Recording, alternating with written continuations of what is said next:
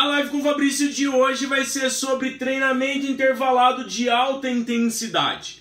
Então a gente vai conversar, conversar hoje sobre treino intervalado de alta intensidade e um tipo específico de treinamento intervalado de alta intensidade.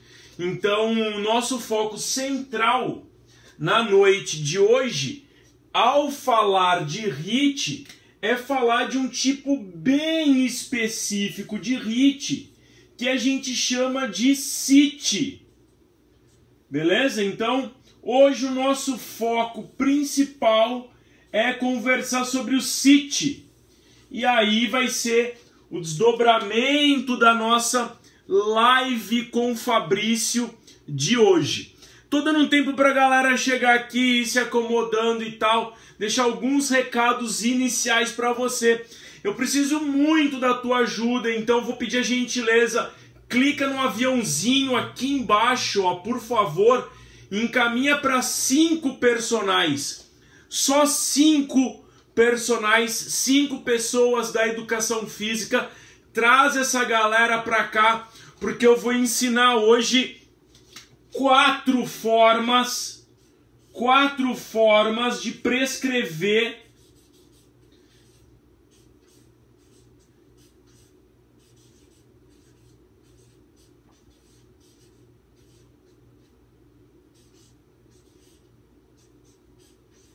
o CIT.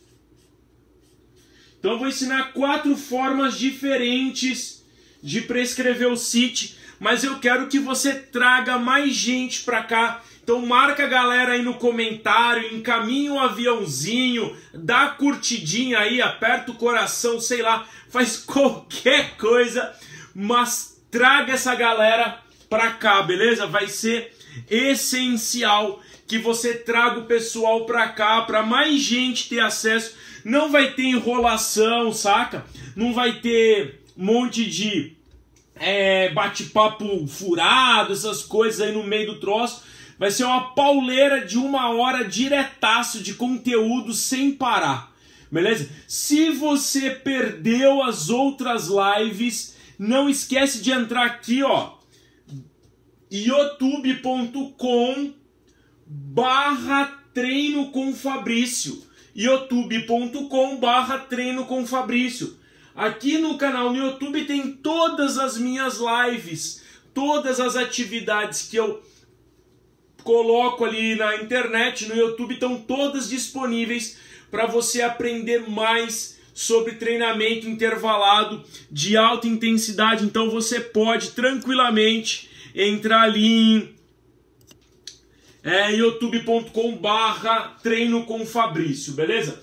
Se você está querendo aprender mais sobre treinamento intervalado de alta intensidade, eu sugiro dois livros. Esse aqui é o primeiro livro que eu editei em 2014. Ele chama Exercício Intermitente, Estado da Arte, Aplicações Práticas. É um livro que teve apoio da CAPES, da Fundação de Amparo à Pesquisa do Rio Grande do Sul, na sua primeira é, impressão. É um livro bem acadêmico, denso, consistente, assim, para você aprender sobre o treino intervalado de alta intensidade. E aí, esse daqui é o último livro que eu lancei sobre HIT, como dominar a prescrição do treinamento intervalado de alta intensidade. Cara, esse livro aqui é top demais. Para você ter uma ideia, são mais de 2.500 exemplares no Brasil e no exterior. Se você tiver interesse nesse livro aqui ou nesse livro, manda um direct para mim agora, diretaço assim, que eu vou te passar o link de acesso ou entra em fabriciobosculo.com, beleza? Mas não perde oportunidade porque a gente tem, se eu não me engano, alguma coisa perto de 100 exemplares desse aqui e perto de é, 150 exemplares deste outro. Então, se você tá afim, manda agora direto para mim já um direct que eu te passo o link. Beleza? Bom, a gente vai começar o conteúdo. Eu tô pedindo para você trazer mais gente para cá porque, como eu disse, a gente não vai ter enrolação, vai ser socado de conteúdo. Então, quem entra, entra meio boiando e tal, meio perdido. É oportunidade de pegar desde o comecinho, assim. É, são 10 e 4. E a gente vai mandar ver. Olha aqui, minha garrafinha de água. É, garrafinha de água, peguei lá em Las Vegas, no UFC que eu fui, super feliz. Bom, então vamos mandar sem dó, beleza? A gente vai mandar sem dó. Pô, o tema aqui, ó, treinamento intervalado de alta intensidade com ênfase no CIT, no treinamento de sprint intermitente, beleza? O Igor me mandou um, um lindo, obrigado Igor, tu também é super lindo. Te adoro, tá, meu querido? Meu querido! Bom, quando a gente fala de treinamento intervalado de alta intensidade, a gente está falando de um modelo de exercício físico cíclico de gesto único, que alterna períodos pré-definidos de esforço e de recuperação. O treinamento intervalado de alta intensidade tem sido usado por um monte de gente no mundo inteiro e o HIIT é empregado com diversos grupos populacionais. Existem estudos com HIIT com atletas Existem vários estudos com treino intervalado com atletas de diferentes modalidades esportivas, né? modalidade de combate, modalidade de endurance, modalidade intermitente, uma infinidade de esportistas praticam treinamento intervalado de alta intensidade nas suas rotinas. O treinamento intervalado de alta intensidade também é utilizado no mundo fitness. Né? No mundo fitness, o treinamento intervalado de alta intensidade é muito empregado, especialmente em pessoas que têm um tempo mais restrito na sessão e quer manter esforços em alta intensidade por mais tempo, reduzindo a gordura corporal subcutânea e visceral e aumentando a aptidão cardiorrespiratória. O treinamento intervalado de alta intensidade também é utilizado para diferentes doentes.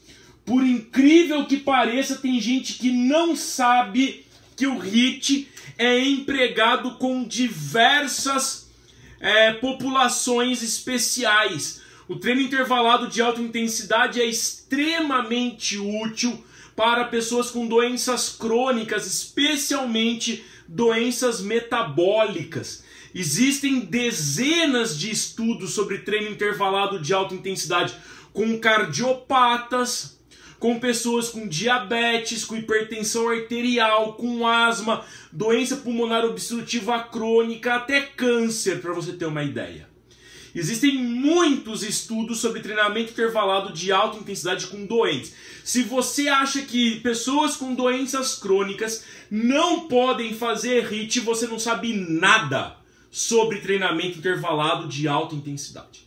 Você precisa rever suas bases teóricas e conceituais, porque o treinamento intervalado de alta intensidade, inclusive de acordo com o American College of Sports Medicine, é um dos meios de treino mais eficazes para melhorar a aptidão física de pessoas com doenças crônicas. Tem artigos aí desde 2011, 2020 já dando suporte a este tipo de argumentação. Então, se você acha que teu aluno doente e o teu aluno sedentário não pode fazer HIT, você tá por fora da área de conhecimento sobre exercício físico e exercício físico especialmente de alta intensidade. Já fica aí os LEPT na tua cara para você se ligar e entender que existem evidências do uso desse modelo de treino com pessoas com doenças crônicas, beleza? Já fica o meu recado de cara para você.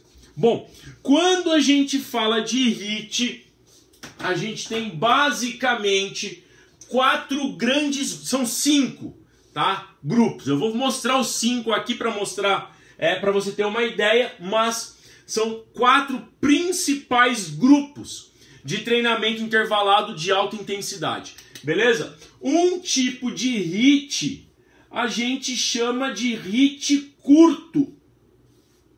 E aí é engraçado que tem gente que acha que chama hit curto porque a sessão é rapidinha, dura 5, 10 minutos. É um burro cara que acha isso, né, velho? Hit curto não tem nada a ver com a duração da sessão. Hit curto tem a ver com a duração do período de esforço do treino intervalado de alta intensidade. Né? Além do hit curto, a gente também tem, obviamente, o hit longo. O hit longo é um tipo de treino intervalado de alta intensidade que ficou meio é, obscuro, saca? Porque o hit curto ganhou muita fama. Fama com aquele 30-30, é, com Tabata 20-10. Então o hit curto ficou super famoso né, quanto à prescrição do treino intervalado de alta intensidade.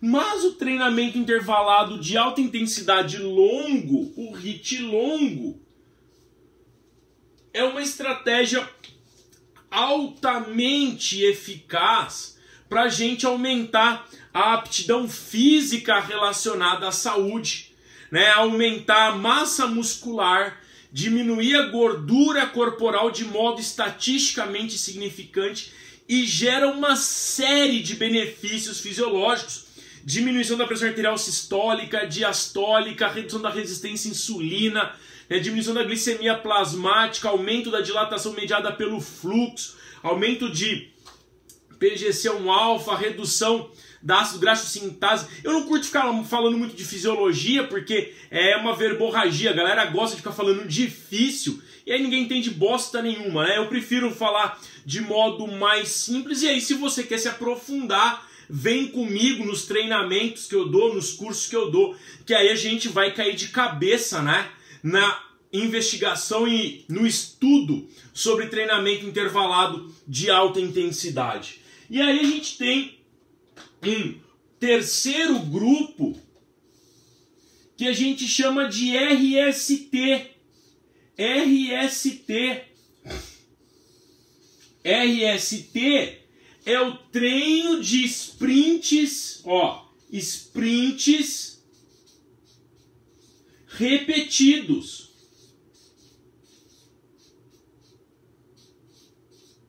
É o treino de sprints repetidos.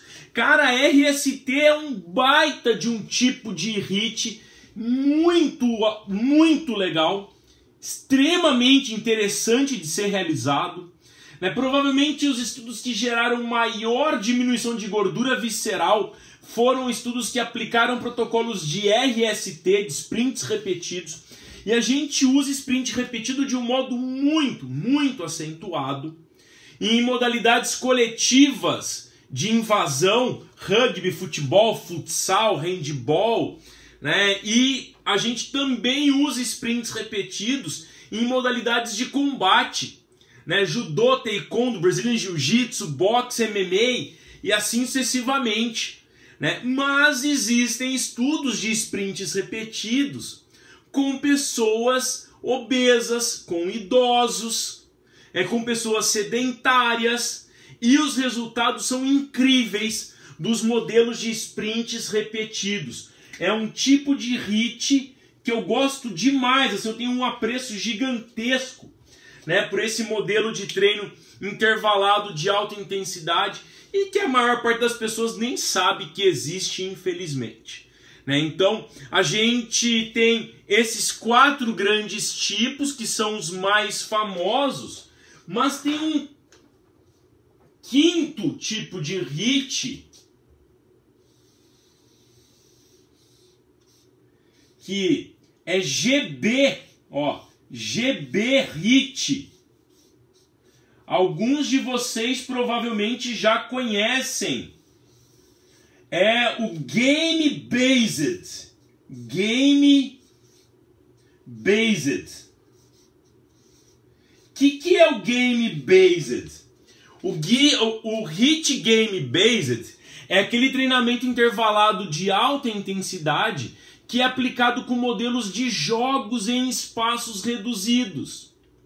É aquele tipo de HIT que é empregado né, com jogos de modalidades coletivas ou de modalidades de combate. A gente usa muito espaço reduzido, 2 contra 1, um, 3 contra 1, um, 5 contra 1 um, às vezes, modalidades de combate, e usa muito modelo de game based, né, alternando as regras. A gente tem um tipo de treino intervalado de alta intensidade, mas com uma elevada imprevisibilidade, né, no game based. Então, a gente tem cinco tipos diferentes de HIT, né, que são empregados é, no processo de preparação física, né, no processo de melhora do condicionamento físico é, de esportistas e não esportistas. E aí, para quem acompanha minha carreira, sabe que eu trabalho com diversas modalidades, né? Trabalho com modalidades de combate, já trabalhei com futebol e tal, com basquetebol, com vôlei, e atualmente eu sou coordenador geral de uma equipe de remo. Posso dizer com tranquilidade que, por número de cabeças, né, a gente é a melhor equipe de remo do Brasil. A gente, para vocês terem uma ideia, o nosso clube agora no Sul-Americano, o nosso clube compunha perto de 20%, o nosso clube aqui de Pelotas, compunha perto de 20% de toda a seleção brasileira. Toda a equipe brasileira júnior, toda a equipe brasileira júnior feminina era do nosso clube, 100%. E aí a gente teve resultados incríveis, metemos aí sete medalhas né, no sul-americano e grande parte do processo de treino desses atletas é com treinamento intervalado de alta intensidade nas suas diversas formas de realização. Mas a nossa conversa hoje é exclusivamente sobre o CIT. Né? O CIT ele é conhecido o CIT é conhecido como sprint sprint intermitente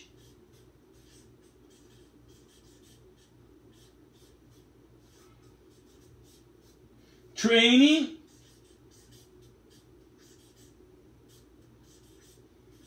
ou tem alguns autores que vão chamar de sprint interval training, né? Pode ser as duas coisas, sprint intermittent training, sprint é, interval training. Basicamente, treinamento de sprints intermitentes ou treinamento de sprints intervalados, beleza? Tem uma outra nomenclatura que também é usada, mas ela é mais usada por alguns italianos, que é chamado de speed. Speed Endurance.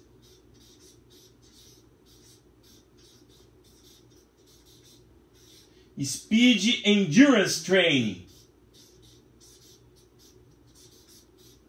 Então, esse termo aqui também é empregado na prescrição do treino de sprints intermitentes, ó, Speed Endurance Training.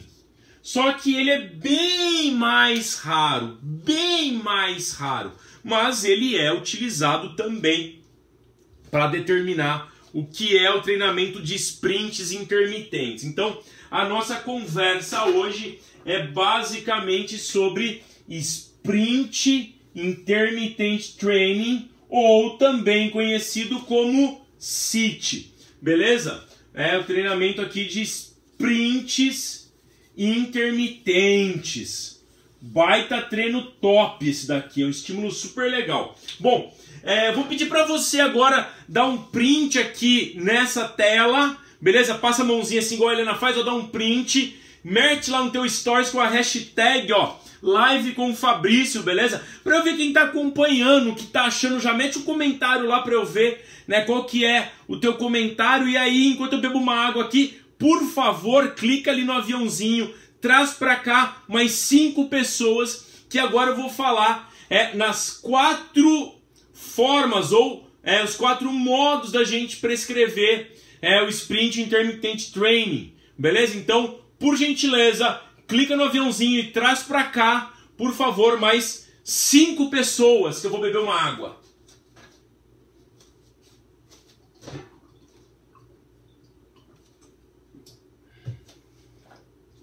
Já deu o print, vou virar a página aqui. Dá o print aí, meu. Vai. Então vamos lá.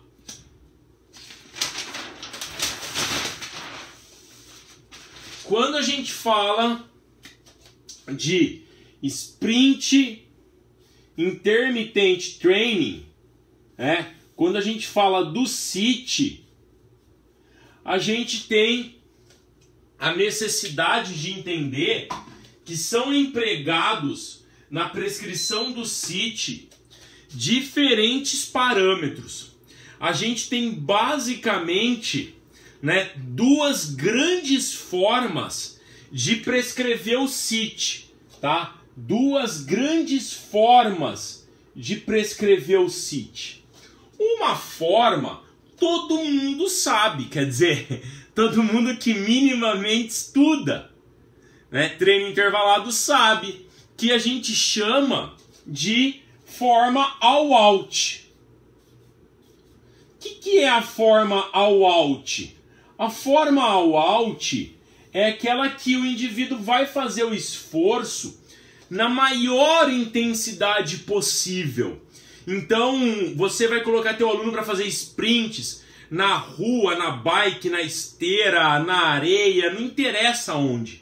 E a cada novo esforço, você sempre vai pedir para ele fazer o mais forte que ele pode. Normalmente, a produção de potência fica com essa carinha aqui, ó.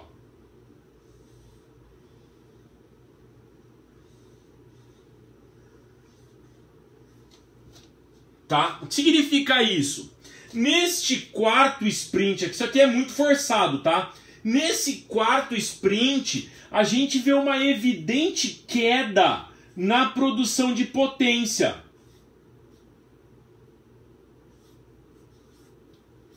É evidente essa queda na produção de potência. Só que ela é inerente na maior parte das vezes, essa queda na produção de potência é inerente à natureza ao alt. Porque como o teu aluno está dando o máximo que ele pode, é, ele não vai conseguir recuperar, mesmo que você dê 10 minutos. Não, brincadeira, normalmente em 10 minutos ele vai conseguir recuperar. Mas como a gente trabalha com outros intervalos de recuperação, que eu já vou falar na sequência, é muito difícil da gente conseguir recuperar para próxima para o próximo esforço ter a mesma intensidade. Então o cara tá dando o máximo dele, só que a produção de potência que ele tá tendo não é compatível com a inicial, né? Então a gente tem uma queda na produção de potência ao longo dos sprints. E isso é normal de acontecer no sprint intermitente, no CIT, tá? Quando de natureza ao out. O CIT de natureza ao out ele vai ter uma evidente queda na produção de potência. Mas além do CIT ser ao alt, a gente tem outras opções também. A gente tem o CIT com intensidade controlada. Bah, é um outro tipo de CIT super da hora. Beleza? É quando o CIT tem intensidade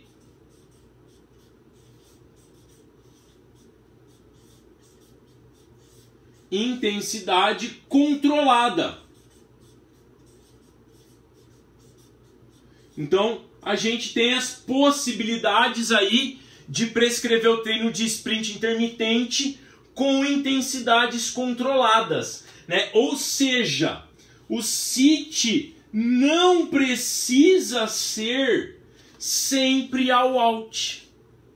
Não precisa. Se você acha que o City precisa ser sempre ao out, você precisa rever as tuas bases conceituais. E eu te indico, né, meu? Pega esse livro aqui e vai debulhar esse livro. Né? Se você lê ele do começo ao final, você vai aprender que existem muitas variáveis na pressão do treino intervalado de alta intensidade e que o CIT não precisa ser a watch. Se tu quer esse livro, manda um direct para mim que eu vou te dar um link exclusivo de acesso a ele. Beleza? Só mandar um direct para mim. Bom, então a gente já sabe das duas grandes divisões do CIT, que ele pode ser all out e ele pode ter intensidade controlada, tá? De modo resumido, e agora você precisa entender que eu não vou me aprofundar nesse aspecto, é, quando a gente fala de parâmetro de prescrição, ó, parâmetro,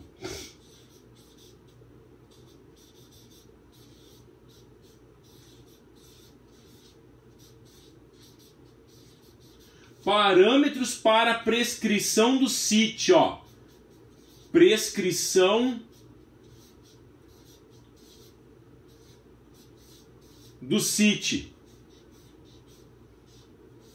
Várias fontes diferentes aqui, hein? Parâmetros para prescrição do CIT. Então, normalmente, quando a gente fala de parâmetro para prescrever o CIT, a gente vai considerar esforço tá? Esforço, recuperação.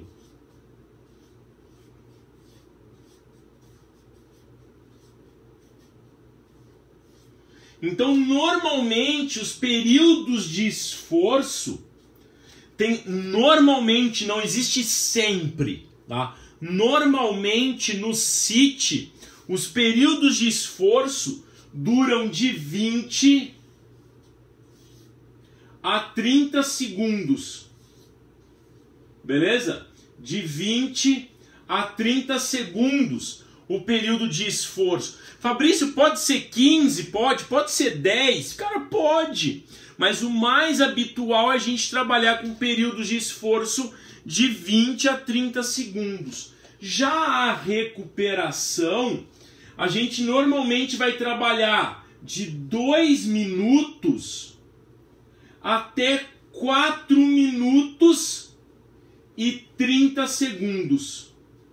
De 2 minutos até 4 minutos e 30 segundos. Então, sim, é uma recuperação longa.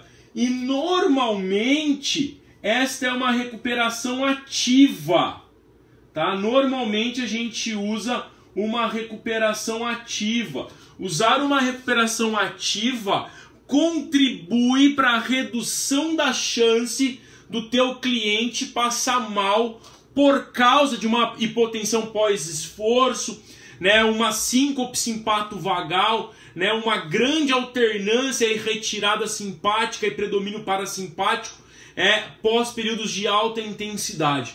Então, recuperações ativas são muito bem-vindas nos modelos de CIT. Né? Então, a gente tem esforço e recuperação com esta carona. Tá? E aí, a gente tem, por exemplo, o número de sprints.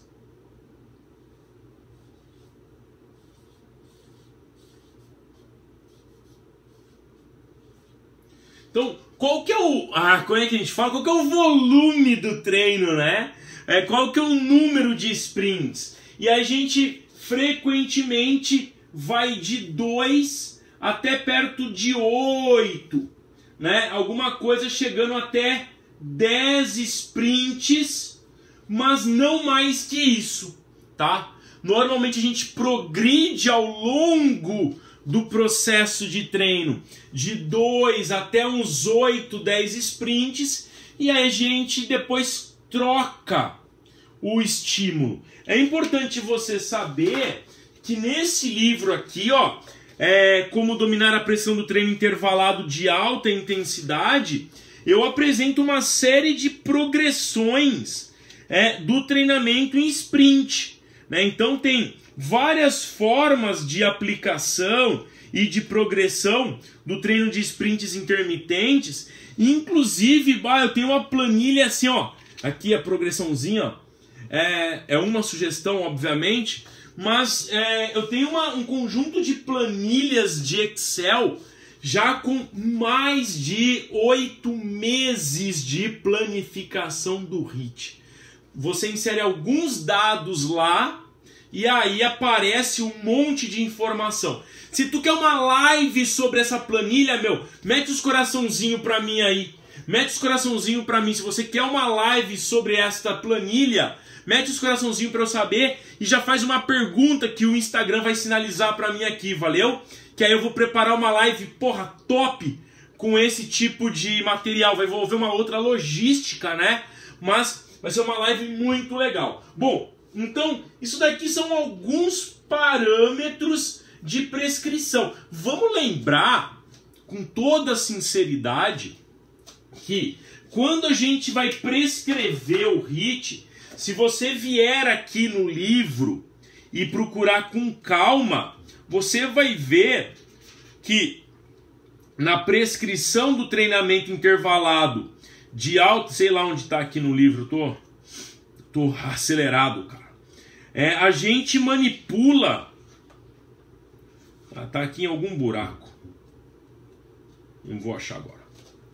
É, a gente manipula quando vai prescrever o treino intervalado de alta intensidade.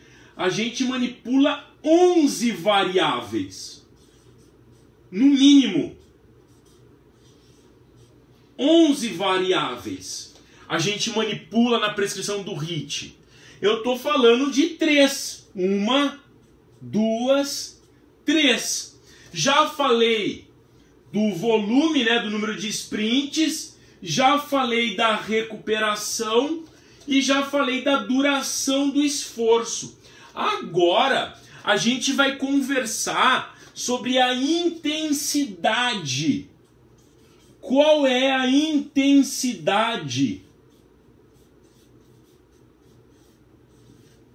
Dos esforços. Essa é a parte mais importante, hein? É, qual que é a intensidade dos esforços?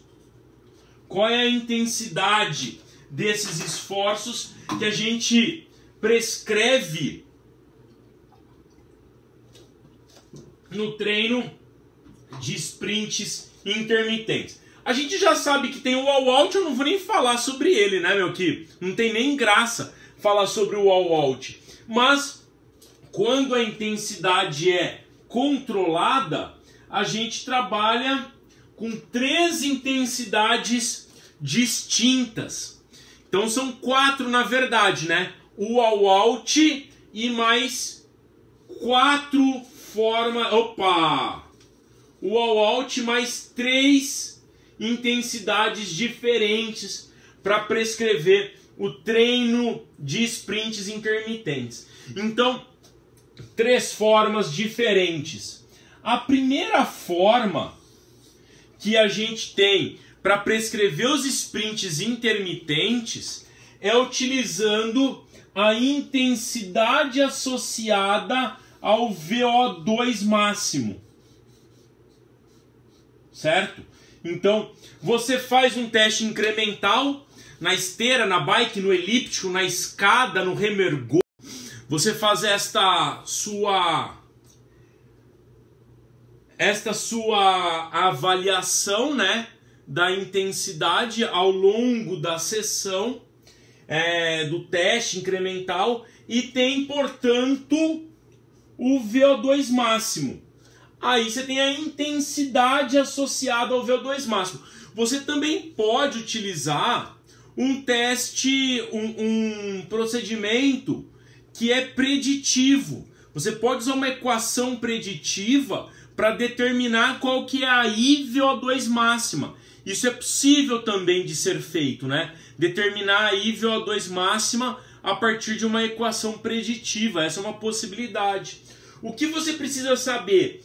Que no treino de sprints intermitentes, quando a gente pensa na IVO2 máximo, a gente vai trabalhar com valores entre 160 e normalmente 180% da IVO2 máxima. Então você faz o teste incremental com o teu aluno. Por exemplo, se ele chega no teste incremental, vou chutar, tá? Uma situação aqui. Ele chega a 12 km por hora. No teste incremental, tá? Ele chega a 12 km por hora. Então você vai fazer 12 vezes 1.6, né?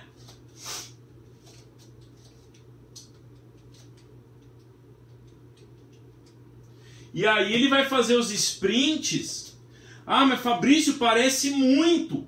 Claro, pô, ele vai fazer 160%. Ele vai fazer os sprints a 19 km por hora.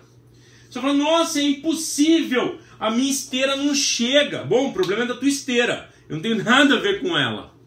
Né? Eu estou dizendo que você pode usar a IVO2 e no caso da IVO2, né, num teste incremental que o cara chega a 12, ele vai fazer um sprint de 20 segundos apenas. 20 segundos a 19. E aí ele vai caminhar por 4 minutos.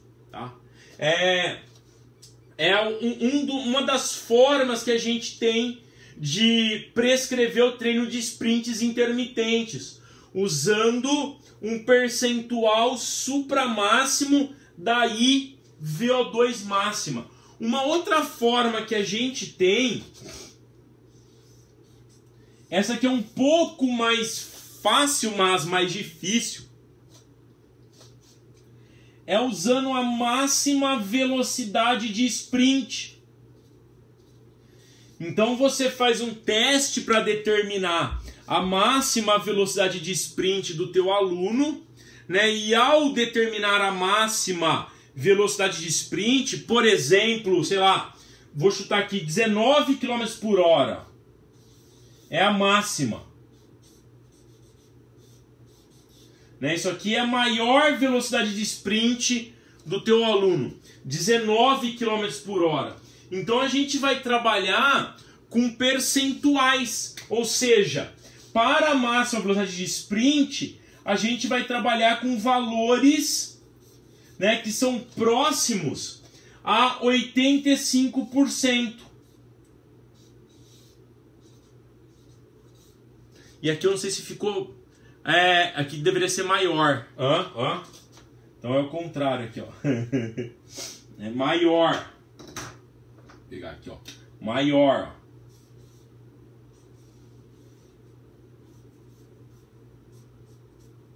sei se ficou maior agora para quem está vendo. Enfim, é maior que 85% da máxima velocidade de sprint. Então, nesse caso, né, eu tenho 19 por hora, ó, 19 vezes ponto 85.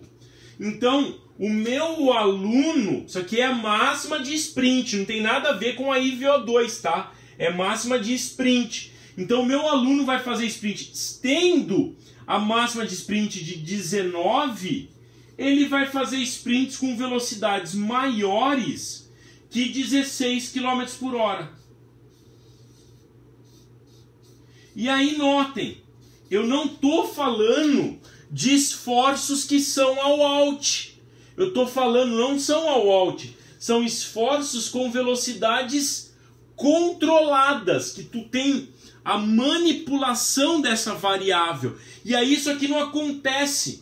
Além disso aqui não acontecer, a queda da produção de potência não ser tão acentuada, quando você trabalha com CIT, com intensidades controladas, o desconforto do teu aluno é muito menor, infinitamente menor. Né? Ele consegue fazer de modo muito mais agradável o treino. E isso gera um benefício gigantesco, porque aumenta a aderência, aumenta o interesse. Né? E a terceira forma de prescrever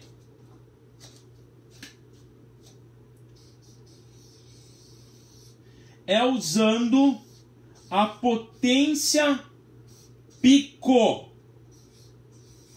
num teste de 6 segundos. Então, Para quem trabalha com airbike, isso é super fácil. A gente pode fazer na airbike, pode fazer no remergômetro, né? Dá para fazer naquela watt bike, né? Na bike de Wingate, né? Você faz um teste de 6 segundos e no teste de 6 segundos vê qual é a potência pico. Qual é o maior valor de produção de potência do teu aluno?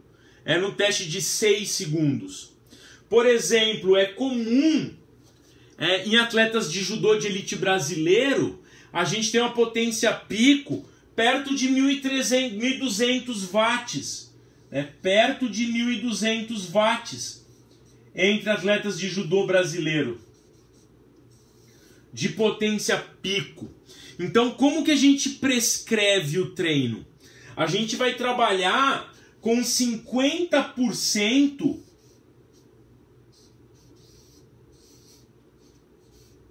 da potência pico.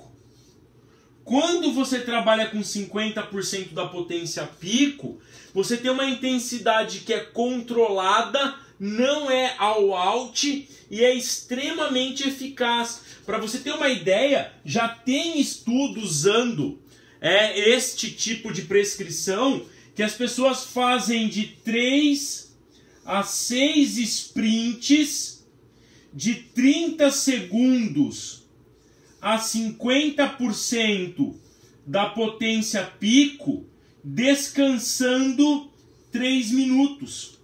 Já tem estudo com idosos sedentários né, e idosos atletas, utilizando a potência pico no teste né, de potência pico. 6 segundos, normalmente o teste de potência pico, calcula quanto é 50% da potência pico, e aí o treino é feito com base em 50% da potência pico. Então, ó, três formas de intensidades controladas de prescrever o CIT, além do modelo de treino all out, né? E aí tudo isso é explicado no livro, na no treinamento, né, HIT 10P, enfim, eu tento aprofundar. Imagina, se eu estou entregando isso aqui de graça, imagina o que, que tem lá no curso né, da certificação. E aí, bom, passada essa fase, eu vou pedir a gentileza de você dar um printzinho aqui, ó, super maroto, ó, live com o Fabrício. Vamos lá, dá um printzinho aí, guarda essa informação. É, tu tem que guardar essa informação porque ela pode ser extremamente útil no teu cotidiano profissional. Então guarda essa informação de presente e aí, se você for colocar no teu stories lá, mete lá a hashtag, marca o meu arroba lá para eu poder ter acesso, beleza? E aí, a gente vai agora para a última parte, né, da nossa live, que é como combinar o treino de sprint com o treino, por exemplo, de musculação. Eu vou mostrar duas formas diferentes, né? Da gente poder ter essa possibilidade de organização. É... Obviamente que a gente tem um monte de diferentes possibilidades. Lembrando que isso aqui vai para o youtube.com barra treino com Fabrício.